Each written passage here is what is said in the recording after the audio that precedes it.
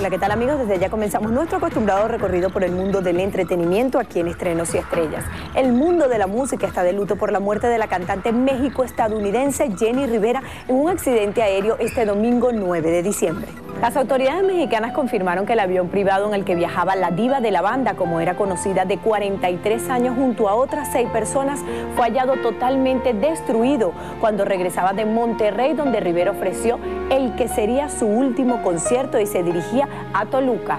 Hasta estos momentos, ni su cuerpo ni el de los integrantes de su banda han sido encontrados.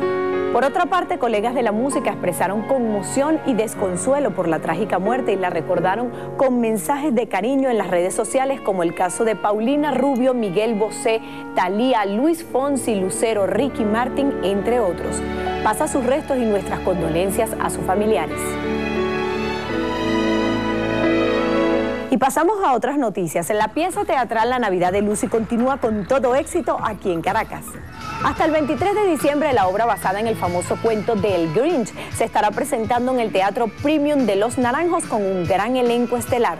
La Navidad de Lucy cuenta la historia de un pequeño pueblo en el que todos adoraban las festividades navideñas y eran felices allí, excepto una pequeña niña llamada Lucy, quien era la única que sentía que los habitantes habían olvidado el verdadero sentido de la Navidad.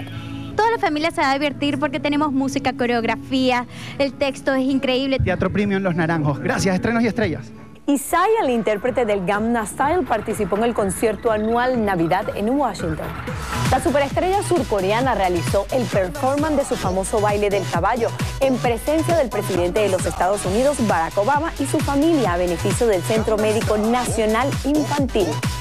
También participó la joven cantante Demi Lovato, entre muchos artistas más.